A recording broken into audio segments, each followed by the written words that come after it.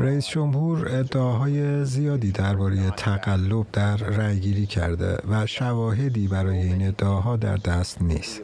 مثل بسیاری چیزهای دیگه که در چهار پنج سال گذشته از دانالد ترامپ شنیدیم.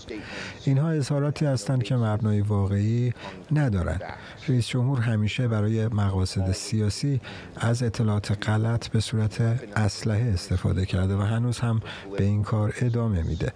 در مورد دیوان عالی اصلا معلوم نیست که رئیس جمهور از طریق دیوان عالی به چه چیزی می‌تونه دست پیدا کنه. حرفایی که می‌زنه زیاد واضح نیست و نمیشه فهمید چی میگه.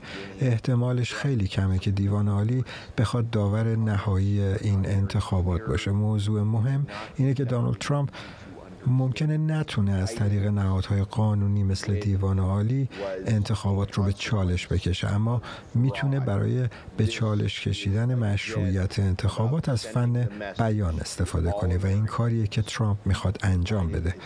و تا جایی که می‌تونه مردم آمریکا رو متقاعد کنه که سال آینده وقتی بایدن به کاخ سفید رفت یک رئیس جمهور غیر مشروع به نظر برسه.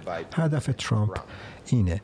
باید دید که قانونگذاران جمهوری خواه وقتی براشون محرز بشه که این کشتی دیگه غرق شده چه واکنشی نشون میدن من فکر نمی کنم در کنار ترامپ که داره این اتهامات رو مطرح می‌کنه بیستن as he makes these kinds of accusations.